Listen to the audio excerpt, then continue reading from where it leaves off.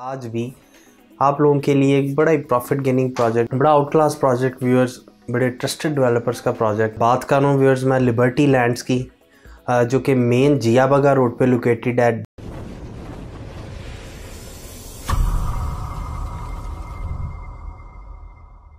अस्सलाम वालेकुम this is Bilal Haider from Sky Realtors. उम्मीद आप सब लोग खैरियत से होंगे। व्यूअर्स, जैसा कि आप जानते हैं, स्काई रियल्टर्स के प्लेटफॉर्म से डेली बेसिस पे आपको किसी न किसी नए प्रोजेक्ट के हवाले से, कोई मार्केट की नई डील है, कोई अपडेट है, उसके हवाले से इन्फॉर्मेशन दी जाती है। तो व्यूअर्स, आज भी आप लोगों के लिए एक बड़ा ही प्रॉफिट गेनिंग प्रोजेक्ट बड़ा आउट क्लास प्रोजेक्ट व्यूअर्स, बड़े ट्रस्टेड डेवलपर्स का प्रोजेक्ट बात कर रहा हूँ व्यूअर्स, मैं लिबर्टी लैंड्स की जो कि मेन जियाबगा रोड पे लोकेटेड है। डेवलपर्स की बात करूँ तो व्यूअर्स, कोई ज़्यादा उनको, उनकी जो प्रीवियस हिस्ट्री है, उसको एलेबोरेट करने की ज़रूरत नहीं है। सभी उनको अच्छे से जानते हैं। यूनियन डेवलपर्स का व्यूअर्स मैं नाम ले रहा हूँ। जो मियाँ आमिर महमूद साहब हैं व्यूअर्स वो किसी तारफ़ के मोहताज नहीं हैं। उन्होंने अपने बहुत से कामयाब प्रोजेक्ट सिर्फ़ लॉन्च नहीं किए हैं व्यूअर्स वो डिलीवर किए हैं। मेन कैनाल रोड के ऊपर यूनियन लिविंग के नाम से जो प्रोजेक्ट है, वो उनका अलहमदिल्ला उसकी डेवलपमेंट इस कदर तेज़ है व्यूअर्स के बहुत जल्दी टाइम से पहले वो डिलीवर करने जा रहे हैं। इसके बाद इतिहाद टाउन फ़ेज़ वन के अंदर जो इन्होंने अपार्टमेंट्स का एक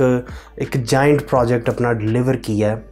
कौन उससे वाकिफ़ नहीं है कि इतिहाद टाउन को फ़ेज़ वन को डेवलप करने में यूनियन डेवलपर्स का बहुत बड़ा हाथ है। फिर इतिहाद टाउन को कह लें आप डिलीवर करने में इनका एक बहुत बड़ा नुमाया हाथ है। व्यूअर्स इनके अपने प्रोजेक्ट्स जो कि बड़ी कामयाबी के साथ ये डिलीवर करते हैं। व्यूअर्स लिबर्टी लैंड्स इनका बड़ा mega project main Ziabagga road के ऊपर इतिहाद टाउन को कम्पीट करते हुए ये प्रोजेक्ट जा रहा है इस वक्त। तो फिर कुछ अर्सा पहले इसकी जो रेट्स थे वो थोड़ा माइनस में जा रहे थे उसकी वजह क्या थी? एक तो बारिशों का सीज़न था जिस वजह से या जैसा कि सभी जानते हैं कि बारिश के मौसम के अंदर डेवलपमेंट कर, करना जो थोड़ा मुश्किल होता है इस वजह से इसके रेट्स थोड़ा नीचे गए थे। डेवलपमेंट अभी स्टार्ट भी नहीं हुई थी जिस वजह से थोड़ा सा एक मार्केट में थोड़ी सी इसके इसके हवाले से थोड़ा पैनिक क्रिएट था लोग इसको थोड़ा नेगेटिव रूमर्स आ रही थी मार्केट में। लेकिन व्यूअर्स उसके बाद जब इन्होंने डेवलपमेंट का काम स्टार्ट किया है तो सभी सिर्फ़ देखते रह गए हैं कि इन्होंने कितनी जल्दी, कितनी तेज़ी के साथ अपनी डेवलपमेंट स्टार्ट की है।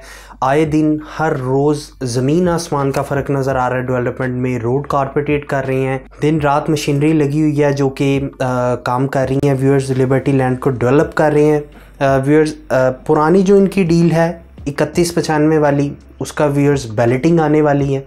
बहुत जल्द उसकी बैलेटिंग अनाउंस कर देंगे। जो व्यूअर्स इनकी नई डील है, सैंतीस पचहत्तर वाली व्यूअर्स उसकी अभी फ्रेश बुकिंग अवेलेबल है। व्यूअर्स यूनियन डेवलपर्स का कोई भी प्रोजेक्ट हो तो प्री लॉन्चिंग प्राइजेस के ऊपर लोगों की कोशिश होती है कि हाथों हाथ ये प्रोजेक्ट उठा लिया जाए। तो व्यूअर्स इस वक्त ये एक नई डील जो इनकी लेटेस्ट डील है, ये सैंतीस पचहत्तर वाली ये भी अवेलेबल है। इसके अंदर आप लोग इन्वेस्टमेंट के हवाले से बड़ा अच्छा प्रॉफिट ले सकते हैं। अगर रेजिडेंस के हवाले से देख रहे हैं तो व्यूअर्स ये बड़ा कमाल का प्रोजेक्ट है।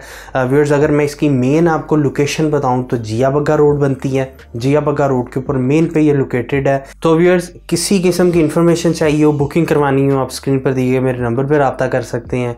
व्यूअर्स गाँव में याद रखा करें हमारे चैनल चैनल को सब्सक्राइब कर दें लाइक करें शेयर करें कमेंट करें बेल आइकन क्लिक कर दें ताकि हर आने वाली वीडियो से आप लोग अपडेट रह सके व्यूअर्स अल्लाह आप सबका हामी नासिर हो। अल्लाह हाफिज़।